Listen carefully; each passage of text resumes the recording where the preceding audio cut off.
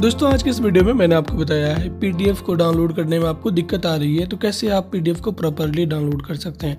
बहुत बार होता है कि जब हम फॉर्म या कोई भी पीडीएफ को डाउनलोड करने जाते हैं तो डाउनलोड नहीं होता है बार बार वो ज़ीरो के बी का बन जाता है, या तो सेव ही नहीं होता है। तो ऐसे में कोई भी प्रॉब्लम आपके साथ हुआ है तो उसको आप ठीक कर पाएँगे और साथ में पीडीएफ को भी डाउनलोड कर पाएँगे। वीडियो को पूरा देखते रहिए।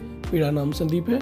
आप देख रहे हैं, ये हमारा tech droid Hindi YouTube channel तो वीडियो में आगे बढ़ने से पहले वीडियो को लाइक कर दीजिए। चैनल को आपने सब्सक्राइब नहीं किया है तो चैनल को सब्सक्राइब कर दीजिए।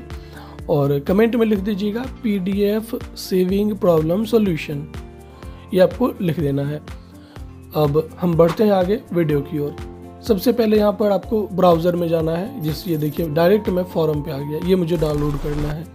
रिसिप्ट है ये। तो यहाँ पे डाउनलोड पे क्लिक करिए क्लिक हियर टू प्रिंट ये मैंने किया।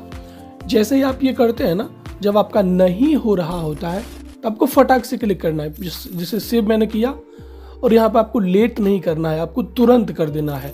तुरंत सेव पे क्लिक करिए, ये मैंने सेव पे क्लिक किया, और ये नीचे आपको सेव कर देना है। जैसे मैं थोड़ा टाइम लगा रहा हूँ, ठीक है? लेकिन आपको ये टाइम भी नहीं लगाना है। पहला तो ऑप्शन है कि आप रीनेम भी एक बार कर देना और फिर उसके बाद सेव करना। तो ये पहला एक तरीका है और सबसे आसान तरीका है कि रीनेम करके आप सेव करो तो आपका हो जाएगा। लेकिन अगर रीनेम करने के बावजूद भी नहीं होता है तो क्या करेंगे? तो बस, जैसे ही आप सेव करने जाते हैं, तुरंत सेव पे क्लिक कर दीजिए। इतना फास्ट में कर सकते हैं। लेट मत लगाइएगा।